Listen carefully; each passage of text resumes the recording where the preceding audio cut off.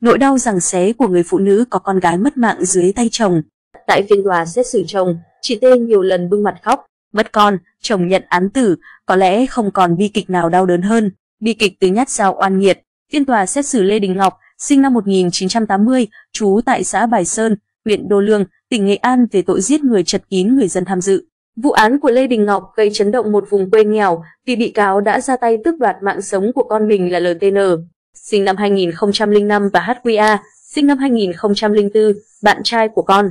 Chị NTT, sinh năm 1985, vợ của bị cáo Ngọc đã bật khóc khi nhìn thấy cảnh sát dẫn giải chồng đến phiên tòa. Chị T gửi ba đứa con nhỏ cho người thân, rồi vào tham dự phiên tòa với tư cách là người đại diện hợp pháp cho con gái mình là LT nở con gái đầu lòng mất. Chồng đối diện với mức án cao nhất của pháp luật khiến cho người phụ nữ này suy sụp.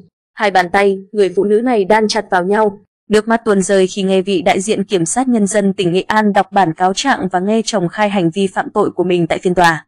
Theo đó, vào tối ngày 4 tháng 7, gia đình chị T làm bữa cơm mời người thân và hàng xóm.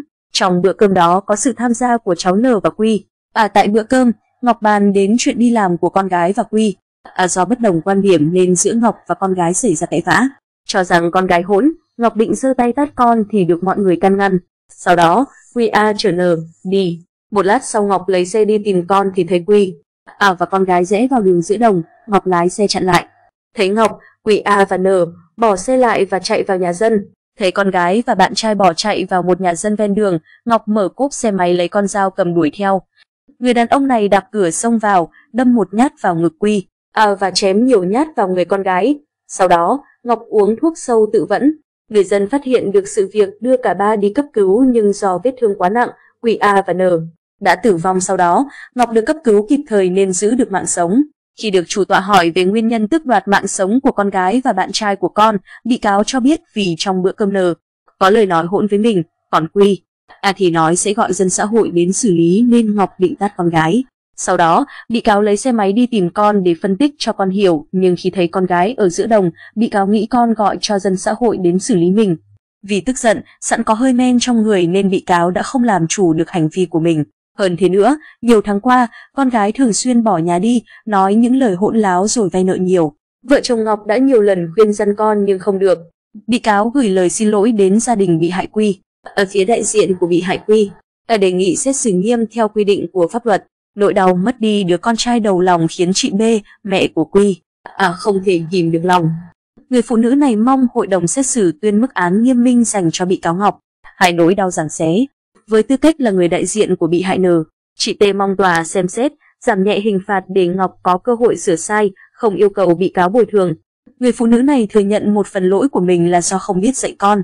Một phần lỗi là tại tôi, tôi không biết dạy con mình, chị T nói trong nghẹn ngào. Theo đó, vợ chồng chị T có bốn đứa con, N là con gái đầu. Khi N bước vào tuổi nổi loạn thì chị liên tục sinh hai người em và đến thời điểm xảy ra vụ án người phụ nữ này đang mang bầu. Người phụ nữ này vừa lo chăm sóc các con, vừa phụ chồng làm kinh tế lo cho cả gia đình. Thời gần đây biết con giao lưu với bạn bè xấu và thường xuyên bỏ học, nhiều lần vợ chồng chị Tê can ngăn, khuyên nhủ nhưng nờ, không nghe lời. Còn đến tuổi ẩm ương, khó nghe lời nhưng chị cũng không nghĩ con vay nợ khắp nơi để tiêu xài. Cháu nhiều lần bỏ học, cắm xe, lừa bố mẹ. Cháu vay nợ đến 60 triệu đồng. Vì ngại với mọi người vợ chồng tôi cũng phải trả nợ và dặn họ không cho con gái vay tiền nữa, chị Tê trình bày. Chị Tê, cũng thừa nhận biết con và bạn trai xuống sinh sống ở thành phố Vinh nhưng không biết cụ thể ở chỗ nào. Hai vợ chồng cũng không tìm hiểu và không quyết liệt trong việc tìm con.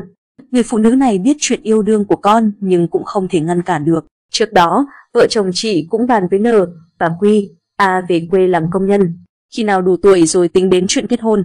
Trong bữa cơm ấy cũng vì mâu thuẫn về việc đi làm mà xảy ra vụ việc đau lòng. Chị cầu mong gia đình nạn nhân A cho chồng mình một cơ hội sống để sửa lỗi lầm bị viện kiểm sát nhân dân đề nghị mức án tử hình dành cho chồng, chị T òa khóc nức nở. Trước giờ tuyên án, chị òa khóc định chạy lại ôm chồng nhưng bị cảnh sát ngăn lại. Mất con, chồng vào tù và đối mặt với bản án cao nhất của pháp luật khiến chị như chết điếng. Hội đồng xét xử nhận định, vụ án có tính chất đặc biệt nghiêm trọng, hành vi phạm tội của bị cáo là đặc biệt nguy hiểm, trực tiếp tước đoạt mạng sống của hai người, trong đó có con của bị cáo.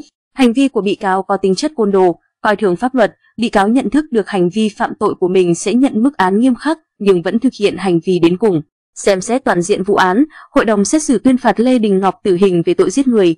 Về phần dân sự, tòa buộc bị cáo phải bồi thường cho gia đình Quy ai 161 triệu đồng.